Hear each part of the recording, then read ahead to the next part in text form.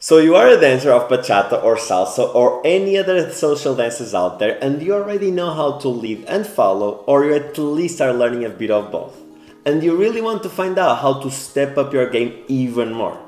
In this video, I'm going to introduce to you the concept of role rotation and the reason why me and Felipe travel around the world teaching it. Now, if you are a dancer that was taught to just lead or to just follow, also stay until the end of this video because this concept might maybe, just maybe, change your opinion about what you can and cannot do in social dances. Let's go! I'm Tiago, and together with my boyfriend and dance partner Felipe, we created the concept of role rotation, where we rotate the roles when we dance. Mainly known for teaching bachata, we travel the world with our goal of inspiring everybody to try both leading and following in all social dances. So as you know, in social dances we always have the leader, the one who leads the move, and the follower, the one who follows and responds to the move. Nowadays, we still have a lot of people thinking those two are divided by gender. This is, they think men tend to be the leaders and women tend to be the followers, but in fact, Social dance has nothing to do with gender or sexuality. So if you are one of those dancers who learned that a man has to be the leader and the woman has to be the follower and you still haven't learned that this is completely false, let me show you some videos that will change your mind about this.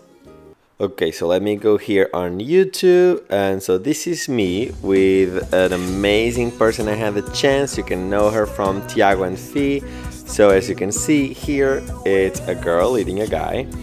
And this was through a festival where we taught the class. We actually did what we are going to teach and talk about today, role rotation.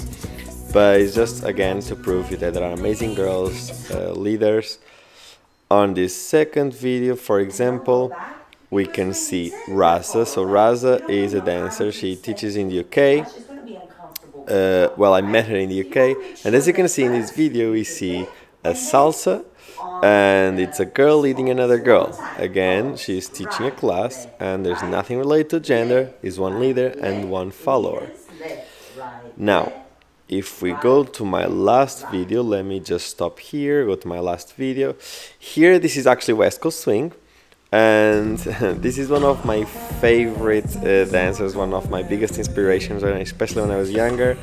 Uh, the guy with the square shirt he's basically following in this video this is west coast and it's two guys dancing again independent. on there is nothing related to gender and yeah so again this is just to prove you guys that the leader doesn't have to be a man and the girl doesn't have to be the follower you can dance between two guys two girls um, a guy and a girl where the girl is the leader the guy is the follower doesn't really matter as you can see, all around the world there are men followers and also women leaders. Now let's go back to the concept of role rotation.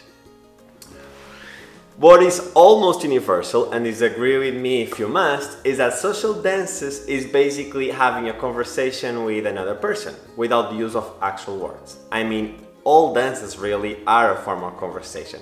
However, while in hip hop or in ballet, it feels more like they are telling us a story or they are expressing themselves through the movement.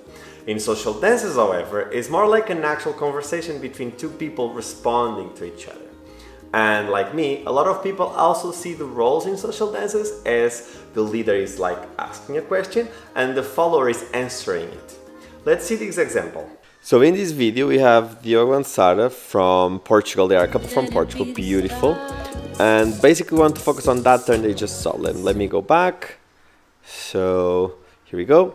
She, she goes, body roll, side body roll, reverse that roll. Okay, here we go now. They are preparing and they go for basic and turn. Look how she does the turn, this turn. She doesn't put much emphasis on her body, but she puts the emphasis on her arm going on the back. So basically he's asking a question and it was the way she did it. But now if you ask an Angelica here, uh, look exactly the same move and turn, nothing on the arms but everything on the body. So Angelica, I met her in, Amer in uh, America, sorry, no, in the UK. She's a beautiful dancer, one of the best dancers I've ever seen in the whole world. She also can lead, she's incredible. But what I want to see is the same question, so the leader asks the same question, a basic term, and they are answering completely different.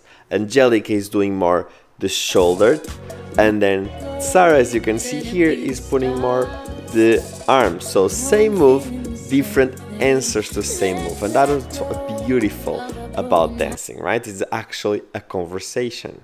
Now here comes the issue. For us, if during the entire dance there is only one leader and only one follower, that those people are actually not having a conversation. They are actually having a more like an interrogation really, because only one is asking the questions and only one is answering them.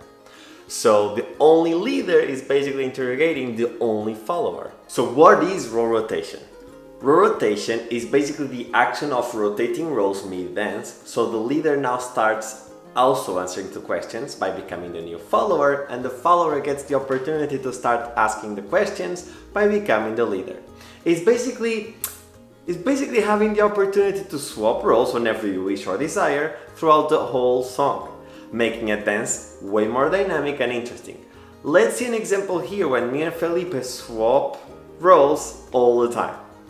Okay, let's go here quick to our YouTube.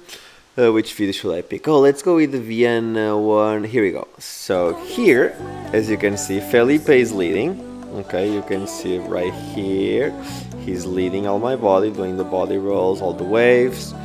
And then basically start dancing, he's still leading and now I swap the leading, see, and now I am the one leading, Felipe is following. By the way, here on the bottom, in every single video of us dancing, you can see this per chapter, so he made this per chapter, so it's easy for you to go check it out who's leading and following. And now as you can see, he is leading again. So I'll put it again, the hands go there, and now he takes the tension because I gave him the the idea that I wanted to follow by putting his hands there, and now he's basically leading. Love beat going forward. See, now I'm the one stealing, and I stole again the leading, so we swap again. I'm just going a bit forward, and as you can see, we swap, go and go without one dance. Now, before we continue, let me just stop here and ask you to let us know in the comments below if you already danced both roles and also or if you are learning, and also which style you are dancing both roles to. Because me and Felipe love to meet new people that, like us, already found the importance and also the fun of doing both. So why do we travel teaching this all around the world and recommending dancers to dance this way? One thing is one thing that you might be thinking and wondering right now. Now, we're starting this to our students, obviously, like everything, and we realize that a lot of the problems that exist in the dance community completely disappear. There's now been too many girls in the classes, no one has to wait in the same class, they all become smoother dancers because now they understand what it is like to be on the other side. The frustration of not being able to do the combos that we are trying to teach completely disappears because by understanding that it's hard to be on the other side, they end up helping each other instead of blaming. And in the end, it's so much more creative and fun because you have way more possibilities than if you are just doing leading and following throughout the entire song. But let's be honest, those of you that already know how to do both, spending the all night class or dance, doing just one can be boring. And also, just a quick secret, the best dancers that are not just good in shows but also in socials, they also do both, and they end up just posting videos of one role because it's the role they are more comfortable in and that's fine. Now, before we finish this video, let me just say one very important thing. We did not create the action of swapping roles mid-dance. There are old videos from people doing it years ago, and I mean, I was already doing this in ballroom when I was 13 years old. And in some dance styles, like West Coast Swing, for example, is way more common than in other dances like Latin dances such as bachata or salsa.